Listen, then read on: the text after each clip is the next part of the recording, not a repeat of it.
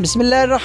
अल्लाम दोस्तों खुश आमदीद के मेरे यूट्यूब चैनल पर कैसे आप सब लोग उम्मीद खैरियत से होंगे। सऊदी न्यूज़ के साथ हाजिर हुए हैं। बहुत बड़ा ऐलान कर दिया। आप सभी को पता है कि सऊदी अरब ने खुशखबरी सुना दिया कि शाही फरमान जो है, सऊदी अरब ने जारी कर दिया है। जिस मुसाफरों को, मेरे भाइयों को जिस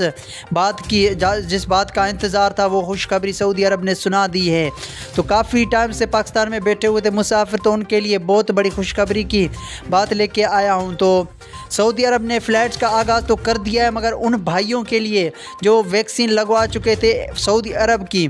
जो सऊदी अरब की वैक्सीन वहाँ पे लगवा चुके थे। वो उसके बाद वो जो पाकिस्तान में छुट्टी लेकर आए थे तो उनके लिए फ़्लैट जो है वो वसत की जा, की जा चुकी है। मगर जो पाकिस्तान में बैठे हुए पाकिस्तानी वैक्सीन लगवा तो चुके हैं जो पाकिस्तान में चाइना की वैक्सीन है जो है तो उनके लिए भी फ़्लाइट का खुलेंगे वो चुका है तो उनके लिए कौन सी डेट मुकम्मल कर दी है वो भी हम आपको इस वीडियो में आगे देखें क्योंकि बताएँगे तो मुकम्मल तफसीलात और डिटेल आपको इस वीडियो में मिल जाएगी। तो मेरे नए आने वाले मेहमानों से छोटी सी गुजारिश है इस चैनल को सब्सक्राइब करने के साथ साथ बेल आइकन की घंटी को भी दबाएँ ताकि हमारी आने वाली इंफॉर्मेशन वीडियो उसकी वजह से जो पहुँचती बन रही थी सऊदी तो पाकिस्तान में जो वैक्सीन अवेलेबल है वो चाइना की वो अभी तक सऊदी अरब जो वायरस इंप्रूव नहीं कर रहा क्यों नहीं इंप्रूव कर रहा क्योंकि काफ़ी हद तक सऊदी हेल्थ मिनिस्ट्री का ये कहना है कि हमारी जो टीम है वो अभी भी